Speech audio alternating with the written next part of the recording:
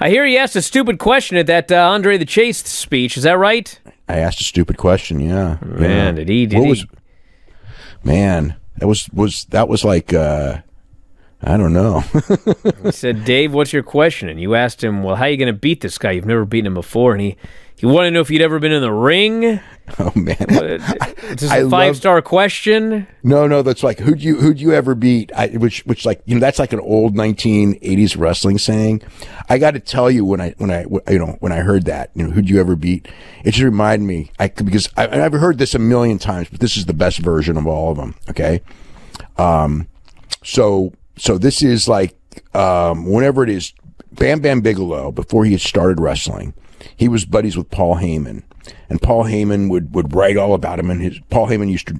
I mean, people don't even know this probably, but Paul Heyman used to be like the editor of wrestling magazines, um, and and he would like you know whatever. So so one of his projects was Bam Bam Bigelow. He in the magazines, you know, he just the nuclear splash and blah blah blah. He loved the guy's look. He'd have pictures of the guy with the tattoos and everything like that, and put them all over the magazines. And the guy had never even had a match yet because they were buddies.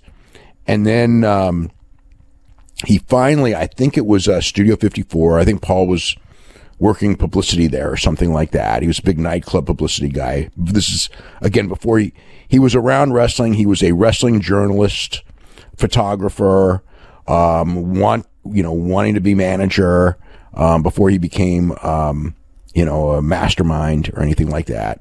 But he's always very good with publicity. So anyway, so so he got this publicity of Bam Bam Bigelow in his pro wrestling debut at Studio 54 and he squashed somebody.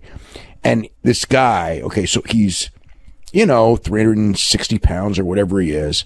And he's out there doing drop kicks and splash off the top ropes, which big guys in those days, you know, we didn't have frickin' um, Jonas and people like that in that era. I mean, the big guys were, were not very mobile.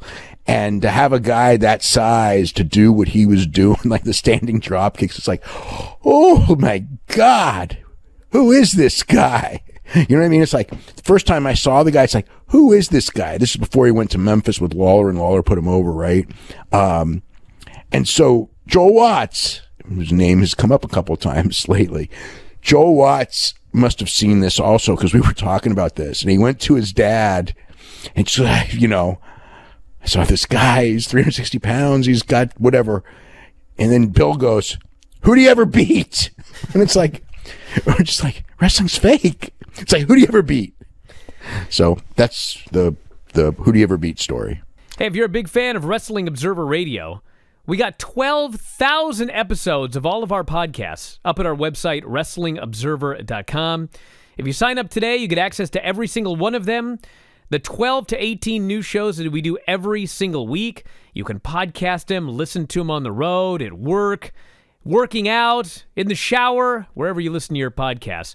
And also full access to the Wrestling Observer newsletter and archives. So if you love what you hear, head to WrestlingObserver.com.